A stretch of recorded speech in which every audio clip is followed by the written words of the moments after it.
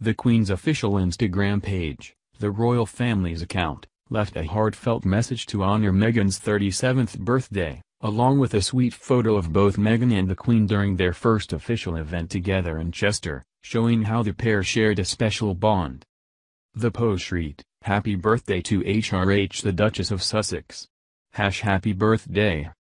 It was accompanied by a picture showing Meghan and the Queen beaming as they watched a performance by children from the Andrew Curphey Theatre Company. Thousands of royal fans also took the opportunity to wish Meghan a happy birthday, and one said, Happy birthday Meghan. We love you so much. Another wrote, Happy birthday beauty, by watching you live you taught me a lot. Continue to be inspirational. Love you so much. For her very first birthday as a member of the royal family, the Duchess of Sussex spent her day in Surrey for Charlie Van Straubenzee's wedding, one of Prince Harry's closest friends. Harry performed best man duties for the ceremony, which took place in the village of Frensham, Surrey. For the event, Meghan donned a stunning navy shirt and color-blocked dress by Canadian fashion label Club Monaco, along with a matching blue hat. The Duchess waved to crowds as she was seen walking to St. Mary the Virgin Church in Frensham to attend the ceremony.